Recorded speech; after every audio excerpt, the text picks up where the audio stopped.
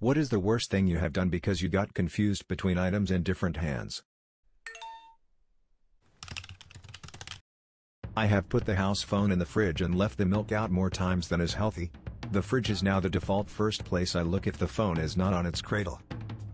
I dipped my chips in the water, had a little I'm such a dumbass moment in my head, then proceeded to drink the salsa. The best part is you acknowledged what you did wrong. And still did it. Phone in one hand, open Pepsi bottle in the other. Threw the wrong one on my bed. I hate it when I accidentally throw my phone on my bed. When I was 10, I was watching TV and had the remote in one hand and a cup of hot tea in the other. My dad came in and asked for the remote. Instead of tossing him the remote I threw my cup of tea, and it went all over him. The next morning his chest and legs were red. Now he knows not to challenge you for the remote. Stuck a dog treat in my mouth and gave my dog my popsicle. She was thrilled. Drank paint water and whilst washing my brush in my cup of tea. Two simultaneous fuck-ups. I was studying my notes which were in a notebook while also following lecture slides on my iPad.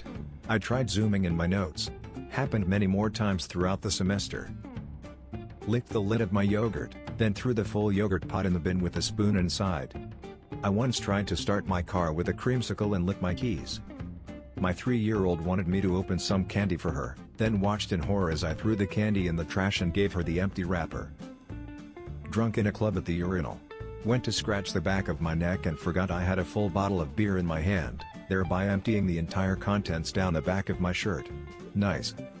A story my father always told me. He is a cop. They were preparing for a raid and one of the senior officers was watching some TV. Then reached into his desk to get his gun, grabbed it, then got distracted by the briefing. Then he put what he thought was the gun in his holster. They went to their cars and drove to the place where the raid was going to happen. All set up, they march up to the house, senior officer on front, bust the door open. They storm the place, mid-storm the senior officer realizes that he didn't put his gun in his holster, instead he pulled out the TV remote from earlier.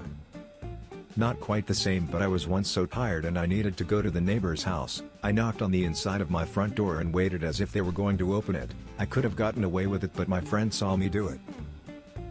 What's the worst thing you've done because you got confused between items in different hands? Let us know in the comments below. And be sure to like this video and subscribe for more great content.